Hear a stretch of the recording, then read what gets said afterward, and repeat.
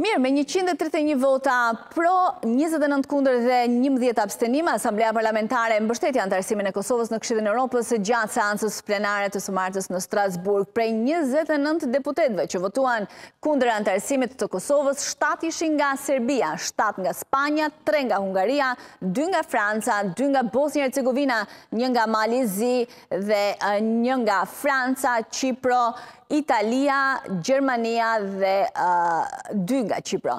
Serbia kishte propozuar disa ndryshime në tekstin për rekomandimet që Kosova të pranohet në këtë organizatë, por u hodh poshtë nga Komiteti i Çështjeve Politike dhe Demokracisë në Këshillin e Europës. Kundër kësaj, asnjë nga amendamentet e propozuara nga ana e Serbisë nuk u miratua. Ndërkohë që ajo çfarë ra në sy, pra ishin deputetët e partisë së kryeministres Giorgia Meloni për votën e tyre, ku pritej në fakt që të kishte një mbështetje edhe për shkak të qëndrimeve që ka pasur vazhdimisht.